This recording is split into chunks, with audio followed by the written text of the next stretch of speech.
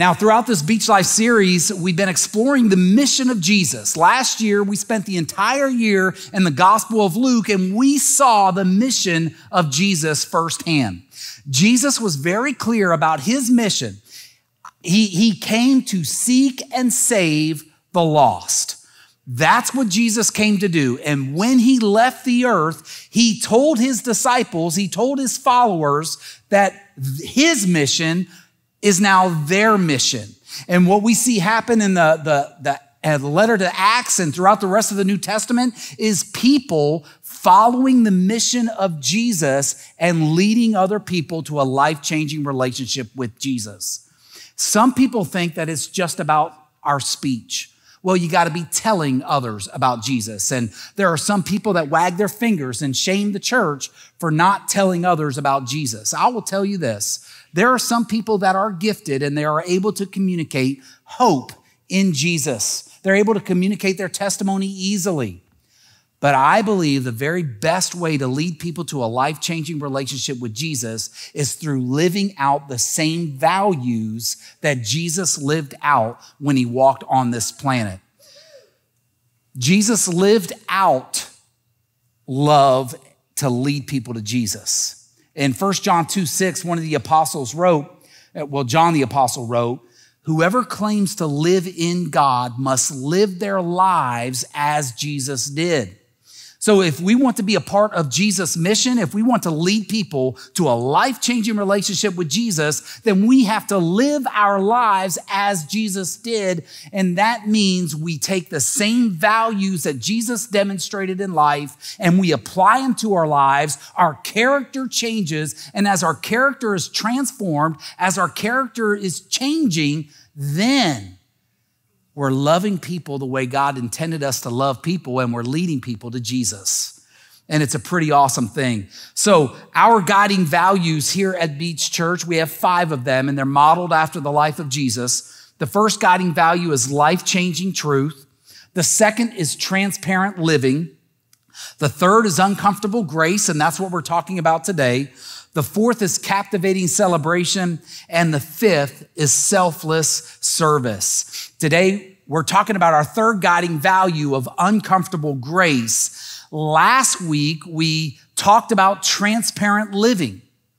And the truth is, when it comes to transparent living, we believe that God desires us to be real, open, and honest about who we are and we allow others to do the same.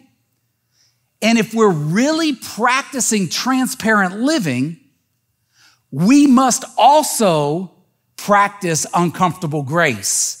Because if people are being real open and honest about who they are, that means they're, they're sharing their wins and they're sharing their victories, but it also means they're sharing their temptations and they're sharing their struggles with sin. And as people share about who they really are, we get to demonstrate uncomfortable grace. When you share your struggles, we get to share uncomfortable grace to you. We demonstrate grace in such a way other people might get a little bit uncomfortable. We demonstrate grace in such a way that we show the same love that Jesus had for other people. Imagine what would happen if somebody shared transparently about their struggles and their sin, what they were wrestling with in life, and we responded with criticism and judgment. Would they share again? No. And you know what would happen eventually? We would become a Ken and Barbie church we would have the appearance everybody's coming because we all live perfect lives and we're not dealing with the nitty gritty of life. We're not really wrestling with who we really are. Instead, we're, we're settling for a superficial, glamorous appearance instead of allowing the truth of God's word to transform us and change us. So, that's why we believe the definition of uncomfortable grace, followers of Jesus give the same limitless grace they have received from God. Followers of Jesus give the same limitless grace they have received from God. Now, if you are already a follower of Jesus, the grace that God has given to you is not just for you. It's for you to give to other people. God has accepted you. He has demonstrated grace to you. Therefore, you demonstrate grace to other people. Let's read together from Colossians chapter 3, beginning in verse 12. Since God chose you to be the holy people he loves, you must clothe yourselves with tenderhearted mercy, kindness, humility, gentleness, and patience. Make allowance for each other's faults and forgive anyone who offends you. Remember, the Lord forgave you, so you must forgive other people, or you must forgive others. Now, you might be thinking to yourself the two words, uncomfortable and grace, don't really go well together. I mean, the word uncomfortable, uh, uncomfortable implies this awkwardness it, it implies a sense of uneasiness. If somebody makes you uncomfortable, you get up and move to another seat. If, if your bed is uncomfortable, you throw it out and you buy a new mattress.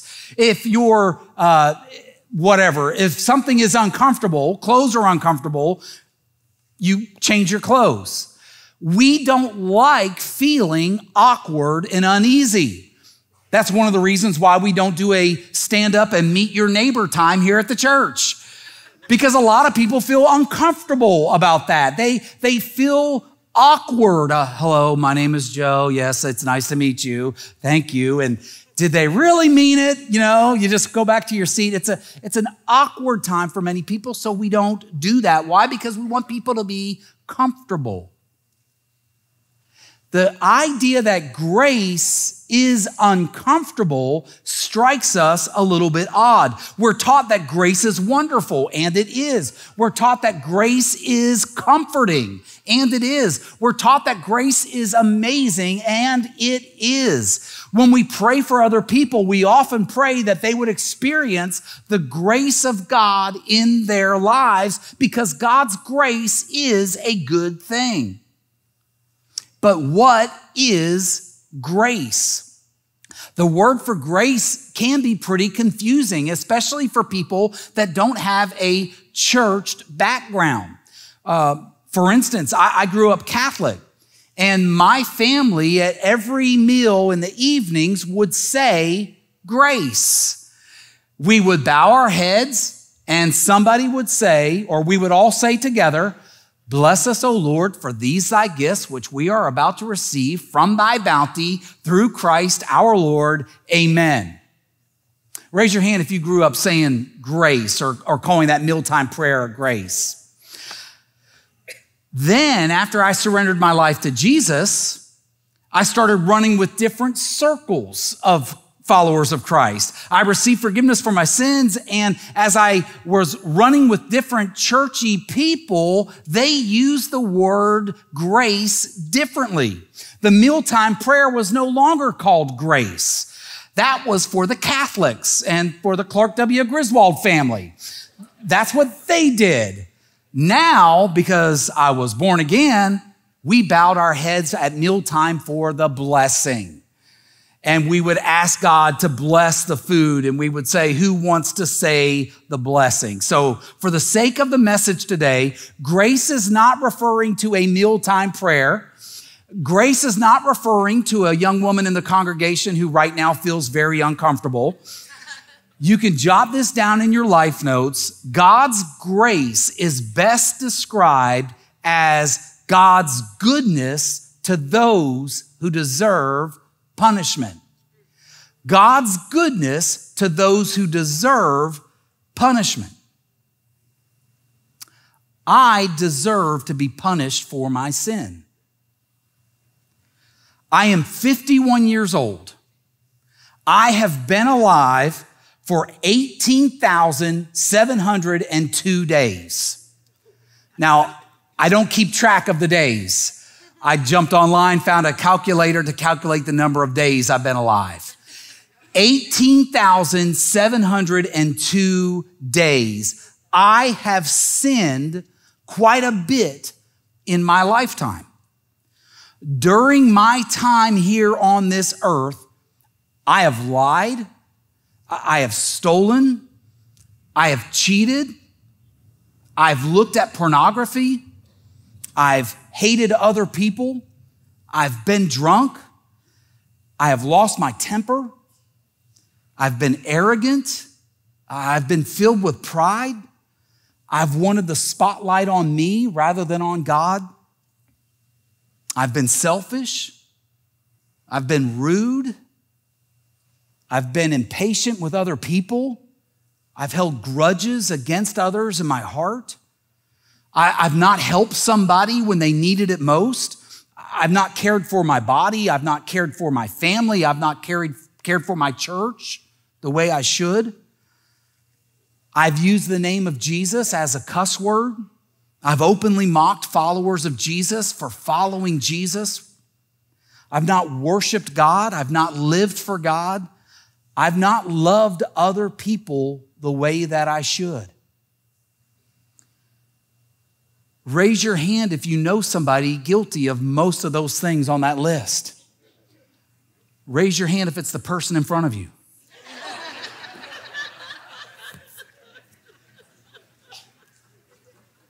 People on the back row are like, yes.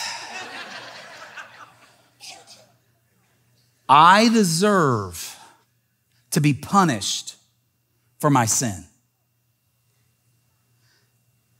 I deserve to be punished for my rebellion against the Creator. The God that created me, the God who gave me life, I deserve to be punished. He says this in Ezekiel 18:4. All people are mine to judge, both parents and children alike, and this is my rule. The person who sins is the one who will die. All people belong to God, and since all people belong to Him, He makes the rules, and His rule is simple the one who sins is the one who dies.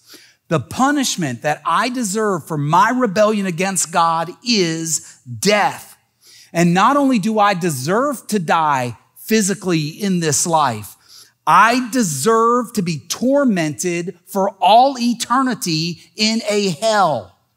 I deserve to be tortured and tormented by flames that do not consume. I deserve to experience that separation of God for all eternity because of my sin. By a fire that is so awful, the flames never consume what they burn, and they burn me. I deserve that. And so do you.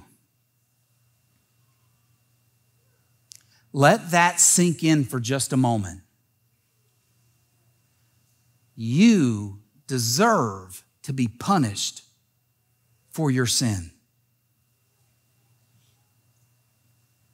When you accept the weight of that statement, then you best understand how life changing God's grace can be. See, when you understand you deserve to be punished for your sins and that you deserve hell for all of eternity, then you understand how amazing God's grace is. God's goodness is not punishing us by giving us what we deserve. Now, God's justice demands punishment for sin. But God's love caused the Son of God to say, I will pay the price for sin. God's love said, I will die on the cross for sin. I accept the punishment for sin. God's justice required a price I could not pay. But because He makes the rules, He declares what's right, and He said, I deserve to die. And Jesus said, I die for you. Jesus chose to pay the price for our sin. The price was paid. The debt was satisfied. The relationship of God with his people was redeemed and it was restored. That's why grace is so amazing. That's why grace is so awesome. The lyrics from the hymn, Amazing Grace, say it best. Amazing grace, how sweet the sound that saved a wretch like me. I once was lost, but now I'm found. I was blind, but now I see. So if you feel hopeless, if you feel discouraged, if you feel overwhelmed, if you wake up every morning and the, the weight of your past sin just presses down on you, and you feel like you can't get out of bed because you've caused so much harm in your life to other people because of your sin. If you feel every day like you are a failure in life, and that all you will ever be in your future is a failure because of your past, if you think God will never forgive you for what you've done, then look down in your life notes and ask yourself this question Which one of your sins will God not forgive? Which one of your sins will God not forgive? Which one of your sins do you think God is holding against you? Have you done something or damaged somebody so much you think God will not forgive you for that sin? Do you wake up every day with that regret and with that shame? Do you go through pill after pill trying to avoid trying to find peace? Do you go through bottle after bottle trying to forget the pain you caused? You do not have to live like that. God has something far better for you. It's called freedom. See, you don't have to be weighed down by the sin of your past. God's goodness toward you cannot fail. God's goodness toward you, demonstrated by what Jesus did on the cross, cannot be watered down. God's goodness cannot be explained away. It cannot be watered down. God's goodness cannot be made powerless. Jesus has set you free from your sin. And that means he has also set you free from shame, set you free from guilt, set you free from fear, set you free from doubt, set you free from your past mistakes and from your insecurities. Jesus has set you free. So stop chaining yourself down to what he has freed you from. Live in freedom. And that means you demonstrate uncomfortable grace to others. See, as, as you live out uncomfortable grace in your own life, ask yourself this question Do you allow others space to fail? Do you allow others the space to fail? Does everybody around you have to be perfect? Do you have such a high standard for your children and for your, your marriage and for your neighbors that, man, when that neighbor leaves that trash can out an extra day, it just gets under your skin? Does everybody around you have to be and live perfect? Do you allow others the freedom and space to fail? Do you criticize people when they mess up? Do you harp on people because They've made poor choices in their lives. Do you whisper about the teenage girl that got pregnant? Do you whisper about the mother that drinks too much? Do you whisper about the parent that loses their temper in the grocery store? Do you gossip about the neighbor's choice of swimwear at the beach? And you say, she's 95 years old. She should not be wearing that bikini.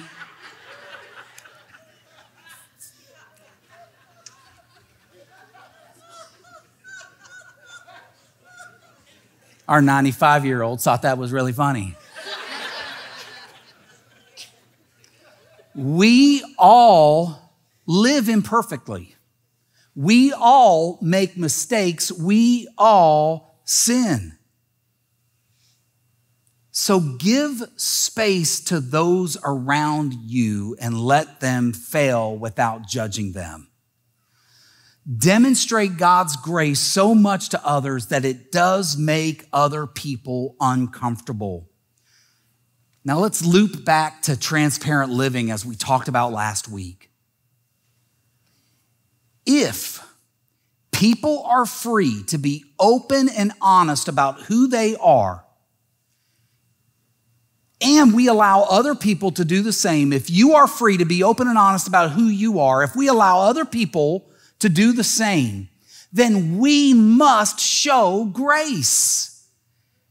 Because if you're honest about your imperfections, then other people get to be honest too. And that's where this whole concept of uncomfortable grace comes from. If someone chooses to not live transparently, they're not going to receive uncomfortable grace. But if people are open and honest about who they are, then we get to show grace. We're building a culture here at Beach Church where other people don't have to be perfect. You don't have to be perfect. When people are open and honest about who they are, they're asking for help. They're looking for accountability. But they won't be looking for it if we respond with criticism and a judgmental attitude. So, as people live transparently, we're called to show the same uncomfortable grace that Jesus showed when he lived on the earth. The Pharisees and the religious leaders said, Why do you hang out with such scum? Jesus hung out with the prostitutes. They didn't pretend that they were somebody that they weren't. Everybody knew, and their mamas knew who they were. The tax collectors were cheats and thieves. They betrayed their own people by working for the Roman government and charging people an exorbitant amount of money that they didn't have to. The tax collectors never pretended to be somebody they weren't. So the religious leaders went to Jesus and said, Why do you hang out with such scum? I am glad Jesus likes hanging out with scum, aren't you? Amen. I'm glad that Jesus likes hanging out with people like me. I'm glad that he was willing to give up his life for me. And I'm glad that he was willing to pay the price that I could not pay. So be open and honest about who you really are. Live transparently. And we know that as you live with transparency, you're not content with just living, that you want to press into God's word and you want to become the person God's created you to be. You have the freedom to take your own pace at becoming the person God has created you to be.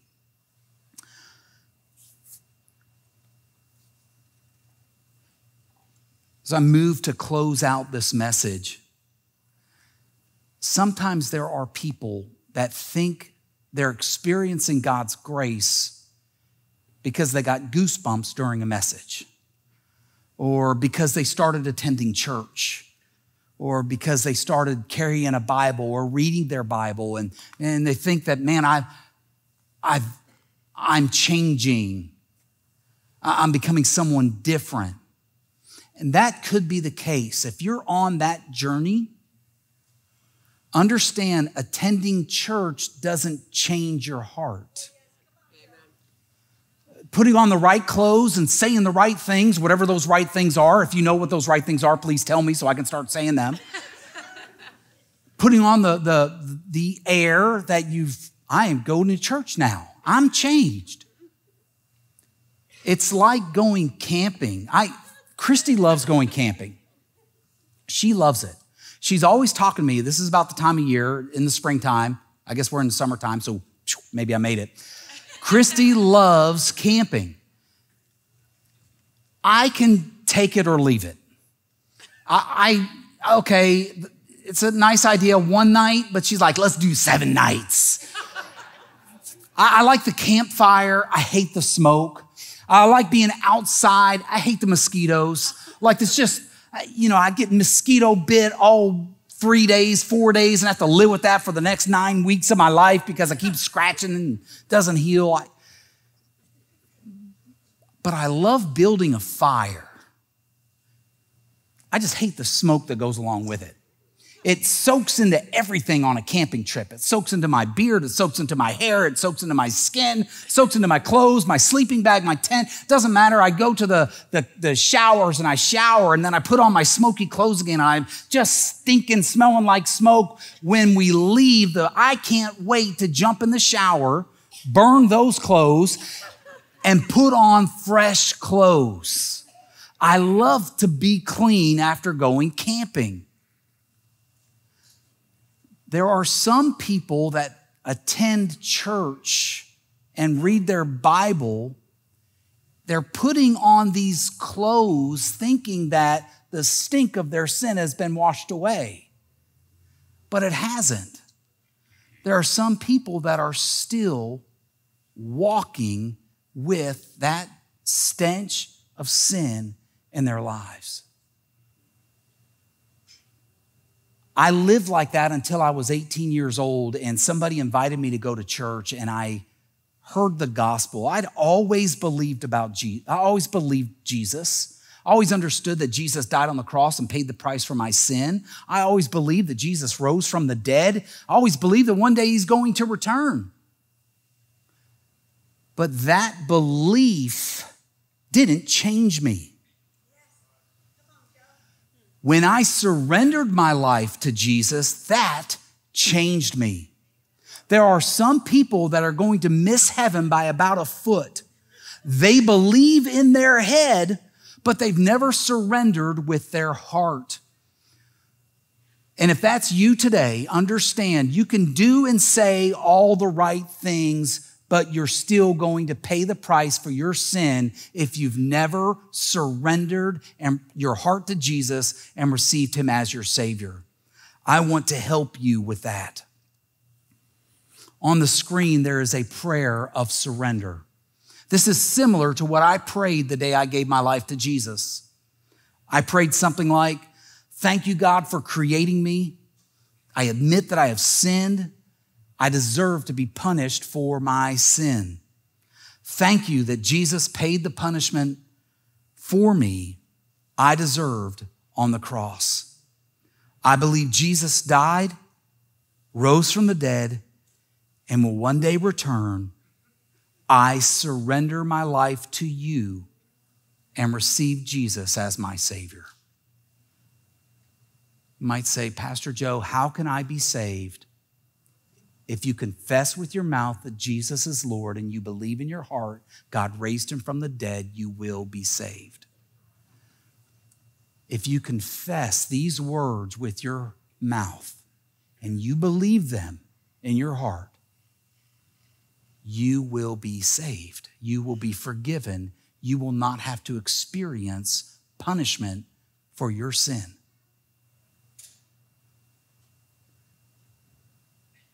I want to invite you in your own way, make those words on the screen yours.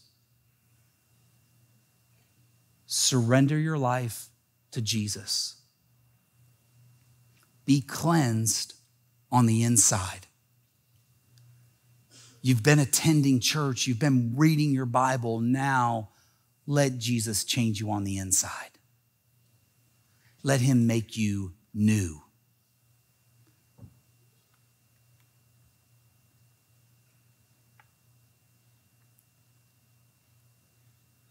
And if you're still unsure about whether or not you've surrendered your life to Jesus, our prayer team is going to be here at the close of the last song. Just come down front after the song is over and say, I'm unsure that I've surrendered my life to Jesus. Will you pray with me? And they would love to pray with you and help lead you to that life changing relationship with Jesus. As we live out our guiding values, transparent living and uncomfortable grace, we're going to change the world around us. The more we live like Jesus, the more we'll be leading people to Jesus. Let's pray together. Father, thank you for your word and thank you for this, uh, these verses in Colossians. God, thank you that you change hearts and transform lives. Thank you that we get to live and demonstrate the same grace that you've demonstrated to us. There is not a sin on this planet that I have not been forgiven for. Help me demonstrate grace to other people. Help us to all live transparently Help us to embrace this culture that you're doing here at our church, that you're creating, and help us, Father, become the people you've created us to be. It's in Jesus' name we pray. Amen.